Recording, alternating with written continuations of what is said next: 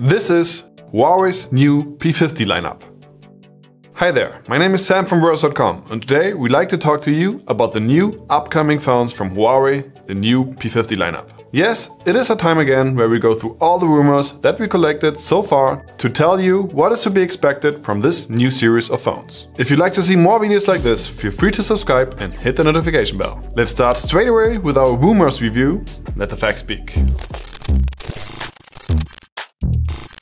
Traditionally, Huawei sets a focus in their P series on the design and the camera. So we can expect that they do the same in the P50 lineup, which is not sure yet when it will be actually released. Since they usually release it in the first half of the year, around March, it can be expected that they will do the same this year. It seems like that there will be three different sizes, which will be called P50, P50 Pro and P50 Pro Plus with a 6.1, 6.6 and a 6.8 inch display. But only the Pro models will be getting the 120Hz refresh rate. The P50 will remain with 90Hz. One trend that can be seen in this new lineup is that the larger the screen, the more curved the edges. So that the biggest version will end up with curved edges on all four sides. A so-called quad curved display. Some rumors predicted that Huawei and Leica could go separate ways, but either company declined these rumors. Therefore, we will see a co-engineered camera system again in the upcoming phones. What we might see is that Huawei will upgrade the system with a 20-fold optical zoom, which would be incredible, and a 200-fold digital zoom, which is, well, I don't know. Have you seen pictures of the 100-fold zoom feature on the P40 Pro Plus? Well, if you ask me, I don't get it. I don't think that they will be much better. I expect them to be even worse. I ask myself, how do you want to take a stable picture 200 times zoomed in on a handheld device? I think they could only do it if they come up with some kind of a new stabilization technology. What do you think? Let me know in the comments below. Rumors also say that they could implement a liquid lens, a lens which shape can be changed by electricity. Well, that sounds crazy.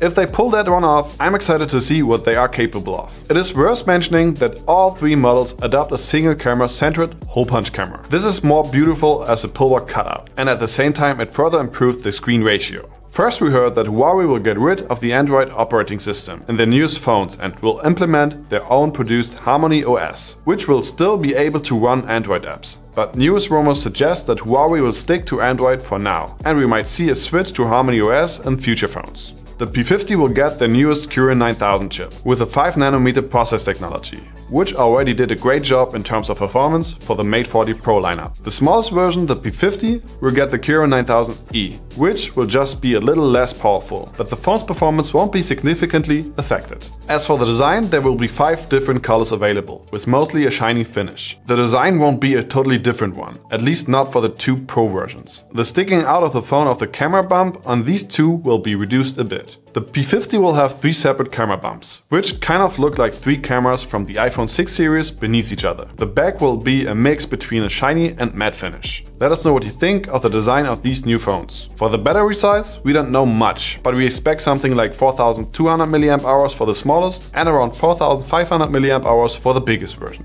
As I already mentioned, these are just rumors. There's nothing really confirmed yet. And as soon as it will be announced and released and we get a hand on the device, we will definitely do comparisons. Till then, let us know what you think about these new Huawei devices. Will they be as good as the Huawei P40 phones? And which of them would you rather get? The P50, the P50 Pro or the P50 Pro Plus? Let us know in the comments below. And if you'd like to compare the newest smartphones and or other things, feel free to follow the link to our website. You can compare up to 7 different smartphones at versus.com. If you liked our video, give us a thumbs up and subscribe to our channel. Till then, take care and see you soon.